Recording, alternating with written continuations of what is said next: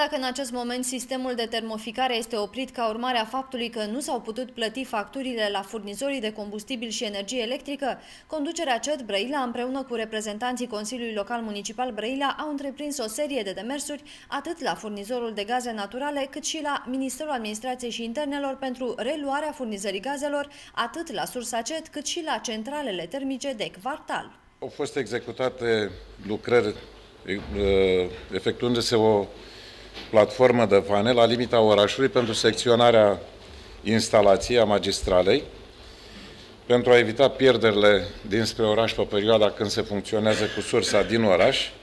Au fost revizuite vanele de golire, aerisire, vanele de secționare de pe magistrala de termoficare, au fost curățate căminele de racord de la punctele termice, au fost curățate zonele de siguranță și de protecție aferente rețelei primare de termoficare.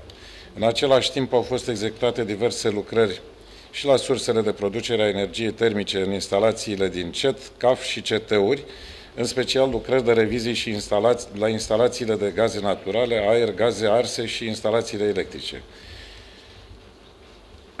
Menționăm că toate lucrările de revizii și reparații au fost executate de personalul CET, cu toate că în uh, perioada din primăvară până acum uh, majoritatea salariaților au fost în șomaș tehnic de cel puțin 3 luni de zile. Pentru asigurarea continuității funcționării societății, în conformitate cu prevederile legale, au fost uh, obținute autorizații privind autorizația integrată de mediu pentru cazanele energetice de 150 de tone de la kilometru 10.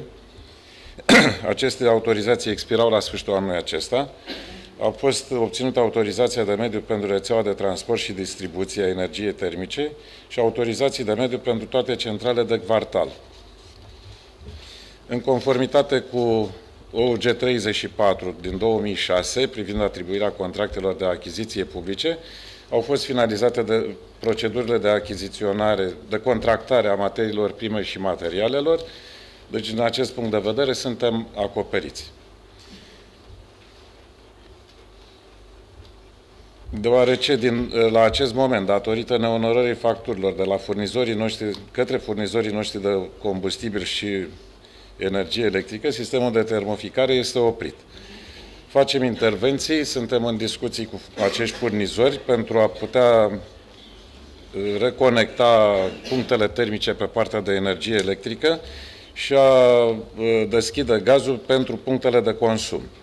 Sperăm ca în cel mai scurt timp să, ă, să ajungem la o înțelegere și să putem ă, începe furnizarea, reluarea furnizării energiei termice. Deocamdată sub formă de apă caldă, în momentul când va fi cazul, deci sub formă de energie termică pentru încălzire. Am primit uh, o mână de ajutor în urma intervențiilor la Ministerul de Interne, printr-o ordonanță de urgență numărul 56, prin care uh, bugetele locale, deci administrația publică locală, poate uh, plăti în avans uh, subvenția uh, pentru gazele naturale ce urmează a fi consumate. Deci această ordonanță modifică ordonanța 36 în care era vorba de un avans plătit pentru furnizorii de energie termică, dar numai pentru stocuri de cărbune, de combustibil lichid ușor, deci de păcură. Nu era specificat și de gaze naturale, întrucât furnizorii de gaze naturale solicită plata în avans în înainte de a începe luna de consum, am solicitat Ministerului de Interne și s-a, totul s-a valorificat printr-o ordonanță de urgență. Urmează să primim uh, o sumă de bani pentru a putea plăti furnizorului de gaz și a relua furnizarea agentului termic. Declarațiile au fost făcute în această dimineață în cadrul ședinței lunare de Colegiu Prefectural.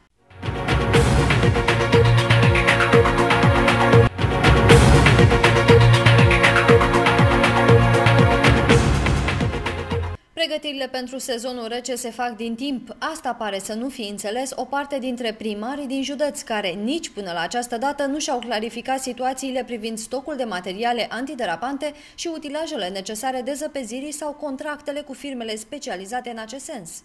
Din informările primite de la primărie din județ, orășene și comunale cu referire la starea tehnică a utilajelor necesare de zăpezire și la stadiul aprovizionării cu materiale antiderapante și combustibil pentru asigurarea desfășurării în bune condiții a circulației pe toate atele de acces spre și în interiorul localităților pentru sezonul rece, situația se prezintă astfel. Din totalul de 43 de primării, numai 32 de primării au proprietate utilaje de dezăpezire care se află în stare tehnică de funcționare. 10 primării au încheiate uh, sau sunt în curs de a încheia contracte de prestări servicii cu societăți comerciale sau persoane fizice de pe raza localităților care au dotările necesare pentru astfel de intervenții. Uh, una dintre ele nu deține utilaje și nici nu a încheiat niciun contract cu vreun agent economic. Nu dăm nume la, această, la acest moment. Am primit asigurări că în cel mai scurt timp se va rezolva problema peste tot. Referitor la asigurarea stocurilor de materiale antiderapante și combustibil, situația se prezintă astfel. 28 de primării au constituit un stoc minim necesar de materiale antiderapante, 26 de primării au constituit un stoc minim de combustibil. Celelalte, la fel, urmează, nu vreau să dau nume la acest moment. Dar sper să aveți colaborarea uh, despre care s-a vorbit aici și în cel mai scurt timp să vă puneți la punct din acest punct de vedere. De asemenea, la efectuarea lucrărilor de zăpezire la nivelul primărilor din județ se va folosi și forța de muncă retribuită conform legii 76 pe 2004, precum și persoanele apte de muncă beneficiari de ajutor social conform legii 416 pe 2001 privind uh, venitul minim garantat. Totodată, în cazul situațiilor de urgență generate de nisorile abundente, comitetele locale pentru, pentru situații de urgență se vor activa și vor fi folosite și efectivele serviciilor voluntare. Subprefectul le-a transmis astfel un avertisment celor aflați în situații deosebite, astfel încât să-și rezolve cât mai rapid problemele și oamenii să nu aibă de suferit, în condițiile în care iarna se anunță aspră.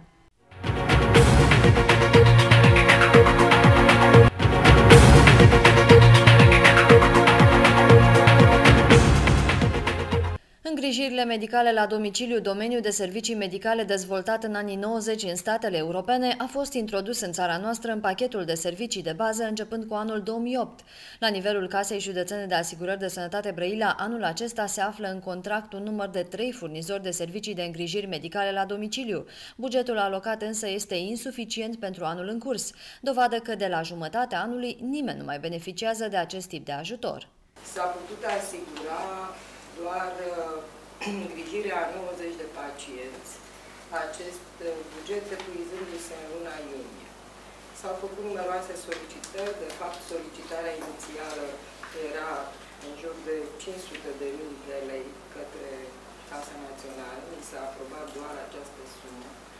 La rectificare s-a cerut suplimentarea și sperăm acum la cea de-a doua rectificare să putem obține măcar 50.000 de lei pentru ultimele două luni din acest an. Acest tip de servicii ar trebui dezvoltat și încurajat. De asemenea, socotind raportul cost-eficiență, s-a dovedit că acest tip de servicii au un cost mult mai mic decât uh, serviciile oferite în spitale și, și din acest punct de vedere ar fi mult mai eficient. Sperăm că solicitările către Casa Națională vor fi luate în seamă. Sperăm ca la sfârșitul acestui an și începând cu anul viitor, acest buget să fie suficient pentru, sau oricum mai mare, pentru a putea beneficia cât mai mulți pacienți. Serviciile de îngrijiri medicale la domiciliu se acordă pe bază de recomandare, ținând seama de starea de sănătate a asiguratului. Recomandarea se face ori de medicul specialist la externarea în spital, ori de către, uh, începând cu 2010, recomandarea se poate face și de către medicul de familie, uh, deci mediul în care se întoarce pacientul care a fost internat. Această, cu această recomandare, în care se consemnează de către medic ceea ce serviciile de care ar trebui să beneficieze pacientul, aceste servicii sunt în număr de 35 de servicii, nu are sens să le puteți, le puteți vizualiza în material. Durata de care poate beneficia pacientul este maxim 90 de zile, însă tocmai din lipsa fondurilor această durată variază între 30 și 50 de zile pentru a exista un număr mai mare de pacienți care pot să beneficieze. și cu această recomandare uh, trebuie pacientul sau cineva din familia pacientului, de obicei pentru că majoritatea se nedeplasabil, uh, se prezintă la, la casa de asigurări. Aici, în funcție uh, de buget și de prevederea bugetară și se acceptă sau nu această recomandare. Potrivit medicului șef, acest tip de servicii ar trebui dezvoltat și încurajat, având în vedere necesitatea lui pentru pacienții aflați în suferință care preferă să fie îngrijiți în mediul familial.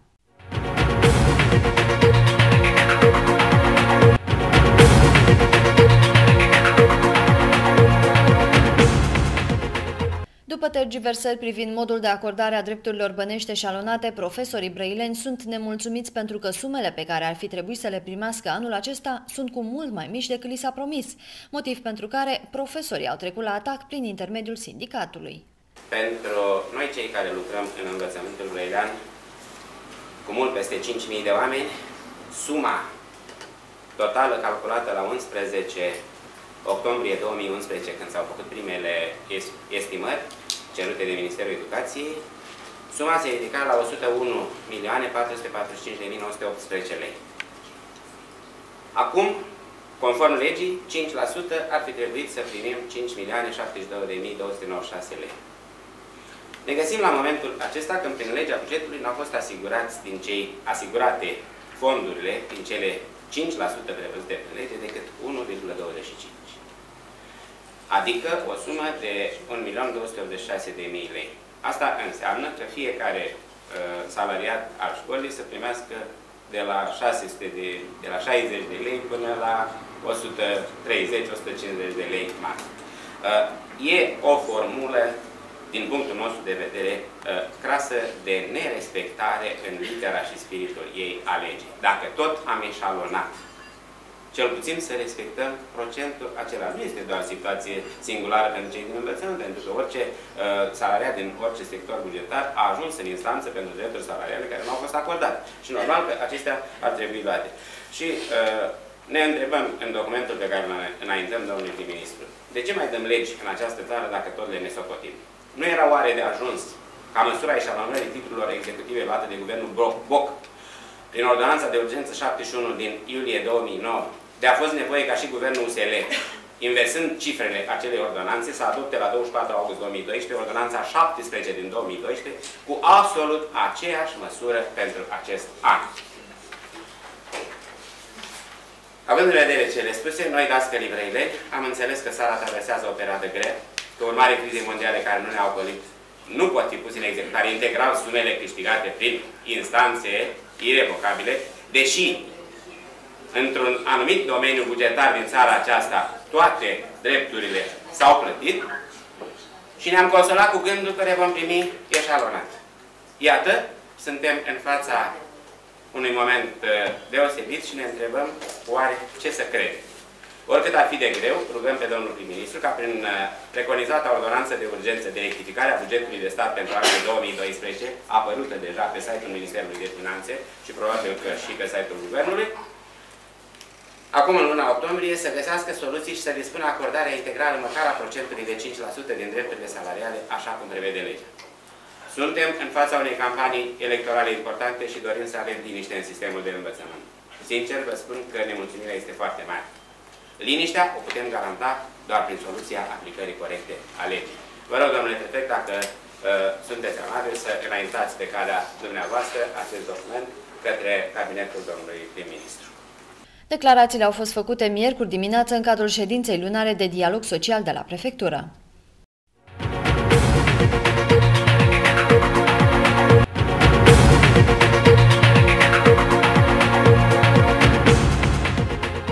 Cimitirul Sfântul Constantin a fost joi dimineață neîncăpător. Ziua armatei a reunit pe lângă autoritățile locale reprezentanții principalelor partide și pe veteranii de război. La 10, subprefectul însoțit de șeful garnizoanei au dat startul evenimentului.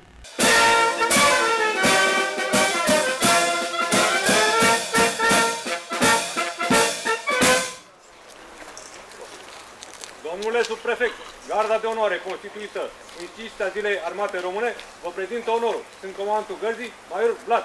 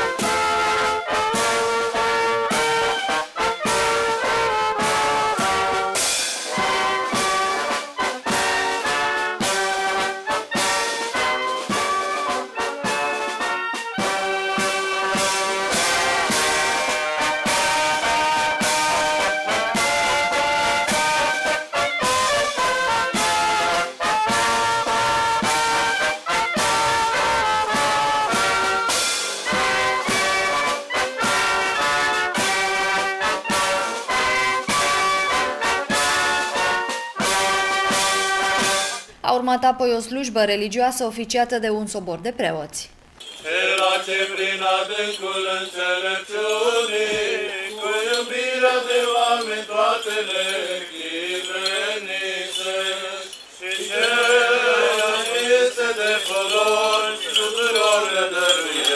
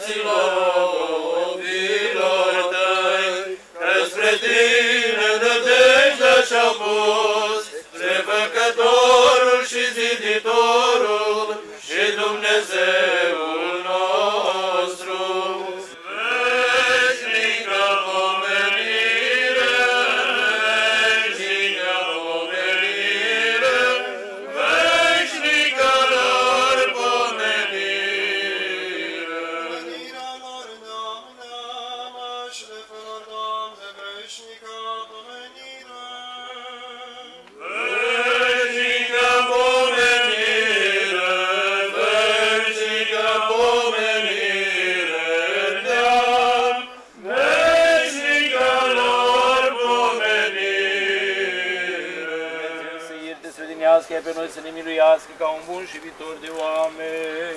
Amin. Dumnezeu să ierte. A venit apoi rândul subprefectului să susțină un scurt discurs pentru a marca această zi.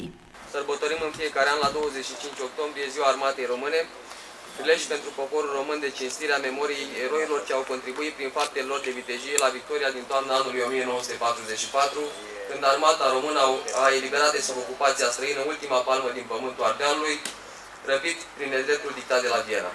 Această zi reprezintă simbolul eroismului și al bătărilor purtate de neamul românesc și este întipărită în sufletele noastre ca ziua în care țara sărbătorește armata și pe cei ce au fost și sunt în slujba ei. Ostașii ne-au dovedit întotdeauna devotamentul, patriotismul și responsabilitatea de care sunt capabili, iar demnitatea cu care trec peste privațiunile pe care le suportă azi întregul popor este un exemplu demn de urmat. Suntem datori să omagiem cu recunoștință militarii căzuți pe câmpul de luptă pentru apărarea țării și să ne respectăm veteranii de război pentru care datoria față de țară a reprezentat crezul suprem, pentru faptele lor de arme și sacrificiile făcute și pentru că lor le datorăm libertatea, independența, integritatea, suveranitatea României de care ne bucurăm noi astăzi. Profit de acest prilej pentru a vă adresa cele mai sincere felicitări și pentru a vă dori reușite în acțiunile și misiunile la care participați. La mulți ani! Șeful garnizoanei Brăila a fost cel care, printr-o lecție de istorie, a readus în memoria multora din cei prezenți importanța acestei zile. distinse personalități ale administrației publice brăilene, preacucernicilor părinți, domnilor generali, ofițeri, maestri militari și subofițeri, gradați profesioniști, doamnelor și domnilor, astăzi se împlinesc 68 de ani de când glorioasa armată română a eliberat ultima brazdă din pământul scump al patriei de sub cizma cotropitorilor fascisto-hortiști. Vinovați de această victorie, în sens metaforii vorbind, se fac militare diviziei nouă infanterie. Această victorie a fost plătită cu un tribut mare de sânge, 50.000 de morți și de răniți. Dar ea a creat condiții pentru dezvoltarea ofensivei spre vest și eliberarea de sub cizma cotropitorilor a teritoriilor Ungariei și Cehoslovaciei și o porțiune din teritoriul Austriei. Au mai murit încă aproape 120.000 de oameni. Tributul plătit de armata română în campania din vest s-a ridicat la aproximativ 170.000 de morți și de răniți. La asta se adaugă imensele pagube materiale și suferințe pe care le-a îndurat poporul român. Odată terminată campania din vest, s-a produs demobilizarea armatei române. Pentru aceasta a fost un mare calvar.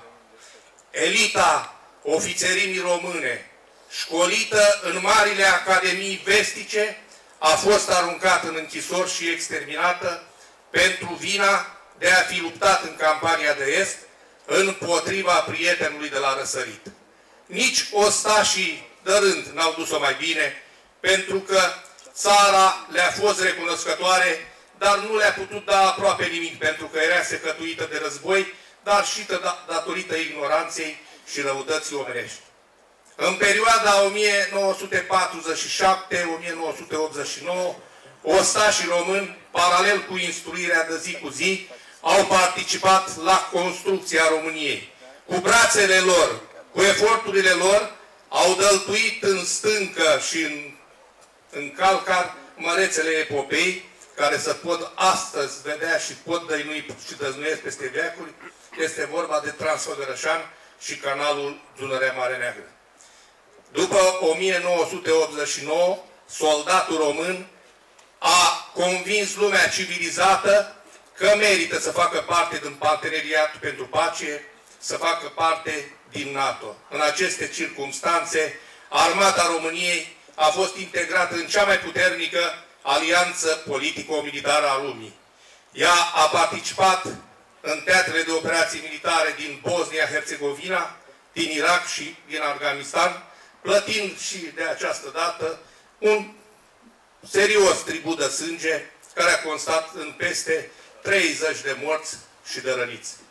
Doamnelor și domnilor, noi, generația integrării, luăm ca pildă ceea ce au făcut iluștrii noștri înaintați.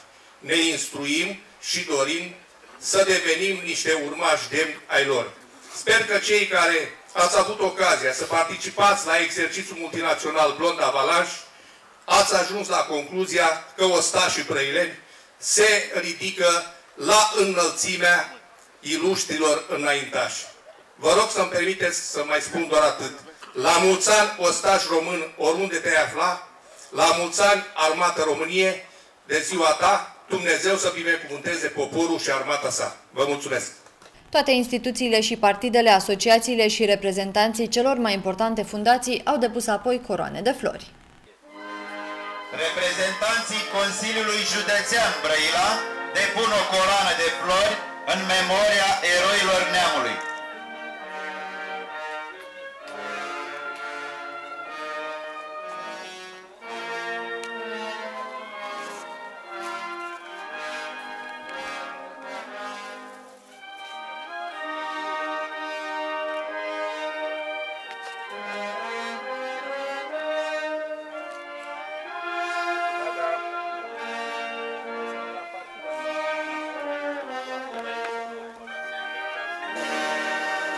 Depun o coroană de flori la monumentul eroilor patriei, reprezentanții primăriei municipiului Brăila.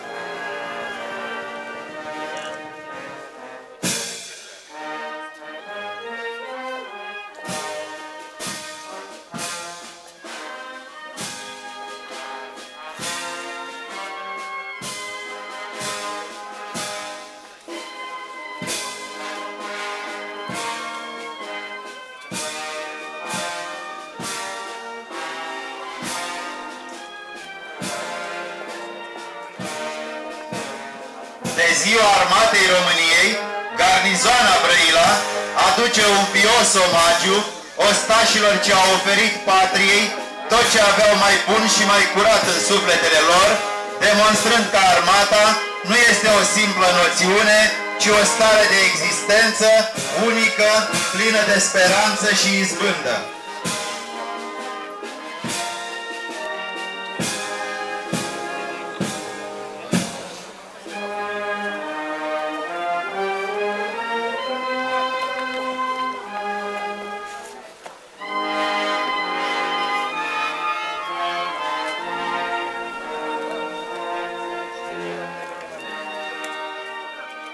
Ceremoniile se vor încheia în această seară la ora 19 la statuia Ecaterinei Teodoroiu.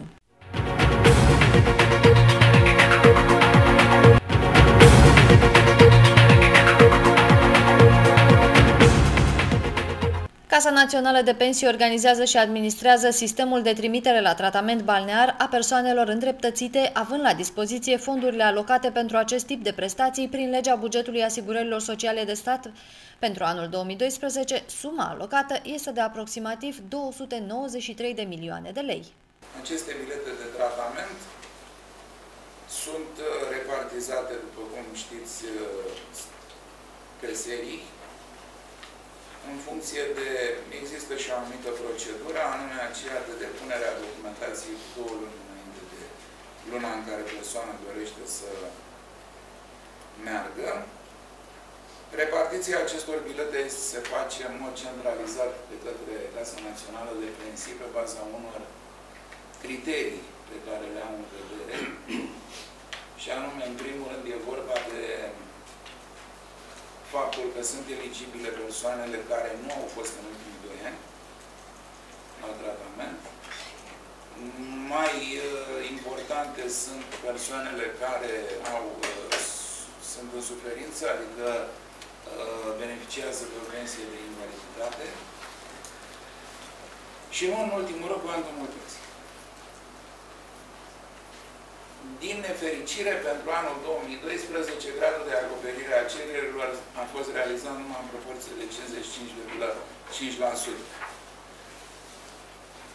La un total de 4.251 de solicitări, n-am putut să satisfacem decât 2.360, dar noi suntem în grafic, deci bilete nu există. Numărul de bilete a fost satisfăcut 100%, dar e vorba de cererile care au fost depuse. Și cele mai căutate stațiuni sunt uh, special cele cu probleme cardiovasculare, care la, uh,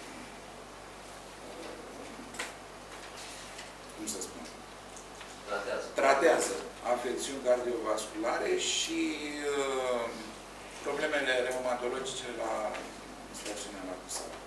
Numărul biletelor de odihnă, al biletelor de tratament balnear, inclusiv cele care se acordă gratuit categoriilor de persoane beneficiare ale prevederilor unor legi cu caracter reparatoriu, precum și modul de acordare, de distribuire și de decontare acestora, se stabilesc prin hotărâre de guvern.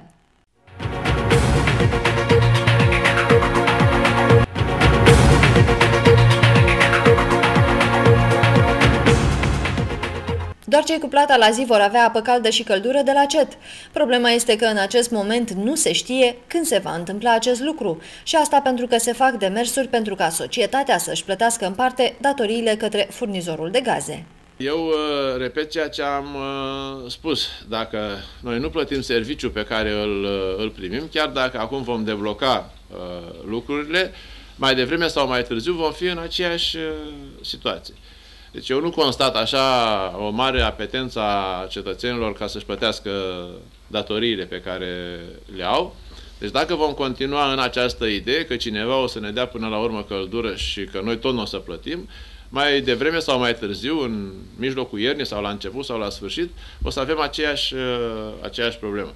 De aceea eu am spus și fac apel încă o dată la toți cei care pe formula pe care am uh, aprobat-o în Consiliul Local, au rămas racordați la sistemul uh, centralizat de termoficare, la CET, să își plătească datoriile pe care le au, pentru că, pe de o parte, am discutat cu cei de la CET, cu tot riscul vom tăia, deci nu vor primi căldură, În al doilea rând, trebuie plătită suma curentă, să spunem așa, serviciul curent, pentru că nimeni nu mai dă uh, gaz, uh, la noi gaz, dar în toată țara este o astfel de problemă, păcură, cărbune, combustibil lichid, ușor, dacă nu se fac aceste plăți. Pentru că la rândul lor, cei care furnizează uh, combustibil trebuie să-l plătească de unde îl iau și în momentele acestea în care este o criză peste tot, uh, nimeni nu-și mai permite să dea pe datorie până vreodată. Este, se dă pe o datorie de 30, de 45 de zile,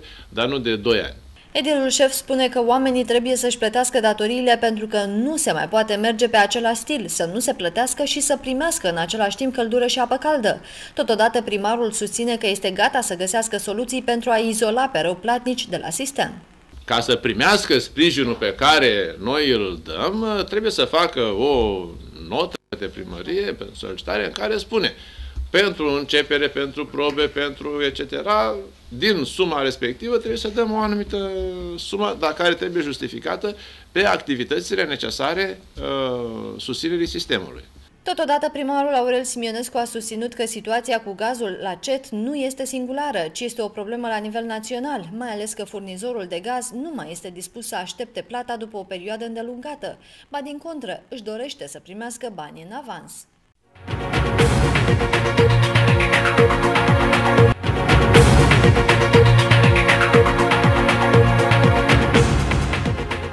Consiliul Județean Brăila are în administrare o rețea de 604.405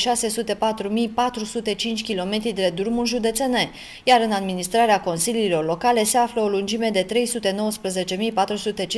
km de drumuri comunale, pregătirile fiind întoi pentru prevenirea efectelor cauzate de temperaturile scăzute și căderile abundente de zăpadă specifice zonei climatice în care se situează județul Brăila. Repararea suprafeței carosabile prin execuția de plombări, asigurarea scurgerii apelor de pe platforma căii drumului, execuția lucrărilor de siguranță rutiere prin plantarea de indicatoare și reprofilări de adaus de material pietros pentru tronsoanele pietruite. Achiziția lucrărilor de dezăpezire este aproape de finalizare. Vom semna contractul în această săptămână, deci avem asigurat și cel care va desfășura această activitate de, de dezăpezire. După semnarea contractului vom uh, adopta următoarele măsuri pregătirea și echiparea unor baze de zepezire, împreună, bineînțeles, cu câștigătorul licitației, aprovizionarea cu material antiterapant minim 1300 de tone, aprovizionarea cu motorină neutrală minim 20 de tone. Bineînțeles că pe parcursul iernii va funcționa 24 de ore serviciul de permanență, cu care dumneavoastră, domnii primari, Consiliul Locale vor avea, sper eu, un, un raport de colaborare și comunicare direct și continuu, Sper să avem aceeași, aceeași colaborare ca și, până, ca și în anii trecuți și să nu avem probleme pe, pe drumul județene. Pentru orice problemă ne contactați, domnul director Pușcă, Serviciul de Gospodărire, pe mine, domnul președinte, vă stă la dispoziție pentru ca populația județului Brăila să nu sufere din cauza iernii care se anunță din nou destul de grea. Declarațiile au fost făcute de vicepreședintele Consiliului Județean Florin Mija la prefectură la ședința lunară de Colegiul Prefectural de marți dimineață.